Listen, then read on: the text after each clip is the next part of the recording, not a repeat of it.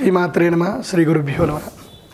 రాబోయే కాలం లోపల భారతదేశ రాజకీయ పరిస్థితులు మారబోతున్నాయంటే నిజం మారబోతున్నాయి. అధర్మానికి మళ్ళీ ఊపిరి రాబోతుంది. ఎప్పుడైతే కనుక గ్రహస్థితులు మారుతున్నాయో ఆ గ్రహస్థితులు మారుతూ ఉండగానే అంటే రాబోయే ఫిబ్రవరి నెలల్లో సంకీర్ణ ప్రభుత్వాలన్నీ కూడా కలిసి ఒక మూడవ ఫ్రంట్గా మారబోతున్నారు. దేశం లోపల రాజకీయ సంక్షోభం ఏర్పడడానికి కీలకమైన ప్రయత్నాలు ప్రారంభమవుతాయి. తర్వాత రాబోయే కాలం లోపల ఏప్రిల్ నెలల్లో అంటే ఎండాకాలం ప్రారంభమవుతూనే పాకిస్తాన్ మీద యుద్ధ తీవ్రత ఏర్పడుతుంది. నరేంద్ర మోడీ గారు కొన్ని కీలకమైన నిర్ణయాలు శాశ్వత పరిష్కారానికి తీసుకుంటారు. దీనితో యుద్ధ తీవ్రత విపరీతంగా పెరిగేటువంటి అవకాశం కనిపిస్తుంది. తెలంగాణ రాష్ట్ర సమితికి సంబంధించి పార్టీ గనక చూస్తే గనక రాబోయే మార్చిలో తెలంగాణ రాష్ట్ర ప్రభుత్వము ఈ మూడవ ఫ్రంట్కు ప్రభుత్వానికి మద్దతు ఇవ్వకుండా బీజేపీ ప్రభుత్వానికి మద్దతిస్తూ రెండు క్యాబినెట్ మంత్రి పదవులను కూడా పొందేటువంటి అవకాశం కనిపిస్తుంది. ఇక ఆంధ్రప్రదేశ్ పార్టీకి సంబంధించి టీడీపీ పార్టీలో అంతర్గత కలహాలు సంక్షోభాలు ఏర్పడతాయి. దీనితో చంద్రబాబు నాయుడు గారికి తలనొప్పి ఎక్కువ అవుతుంది.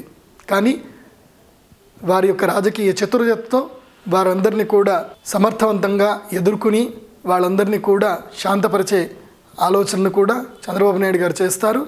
కానీ ఇక్కడ జ్యోతిషాస్త్ర పండితుడిగా చంద్రబాబు నాయుడు గారికి మానసిక ప్రశాంతత ధైర్యము కలగాలని చెప్పి నేను ఆశిస్తున్నాను. కాబట్టి చంద్రబాబు నాయుడు గారు మీ యొక్క మనస్సంకల్పము చాలా గట్టిది.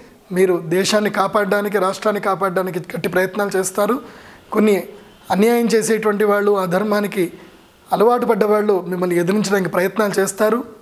కొన్ని రాజకీయాల్లో కొన్ని అనుకోని మార్పులు జరుగుతాయి కానీ మీరు గట్టిగా ఉండండి మీరు సమర్థంగా ఎదుర్కోగలుగుతారు.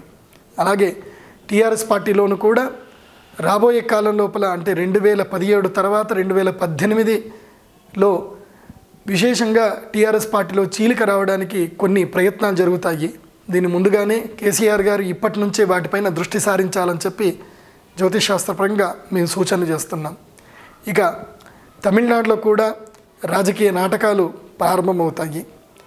జయలలిత మరణించిన తర్వాత పన్నీర్ సెల్వం గారు సీఎం పదవిగా అధికారం చేపట్టారు. కానీ రాబోయే మూడు నాలుగు నెలల్లోనే ఆ యొక్క పన్నీర్ సెల్వం గారి రాజకీయానికి తెరపడేటువంటి అవకాశం కనిపిస్తుంది. మళ్ళీ మధ్యలో ఎలక్షన్స్ వచ్చేటువంటి అవకాశాలు సుస్థిరంగా కనిపిస్తున్నాయి కాబట్టి అక్టోబర్ నవంబర్ మాసంలో చిన్న చిన్న రాజకీయ సంక్షోభాలు తమిళనాడులో కూడా ఏర్పడతాయి. కానీ సమర్థవంతంగా పన్నీర్ సెల్వర్ గారు దీన్ని ఎదుర్కొనే ప్రయత్నం చేస్తారు. వారికి కూడా జ్యోతిషాస్త్రపరంగా మేము ఇచ్చేటువంటి సలహా మనస్థైర్యంతో ఉండండి. ఇప్పటికి ఇప్పటి నుంచే నవంబర్కి సంబంధించిన ప్రణాళికలు సిద్ధం చేసుకోండి.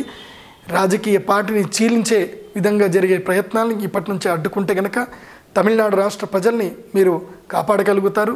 అదేవిధంగా ధర్మాన్ని కూడా కాపాడగలిగే ప్రయత్నం చేస్తారని చెప్పి ఆశిస్తున్నాం. శ్రీమాత్రే నమ.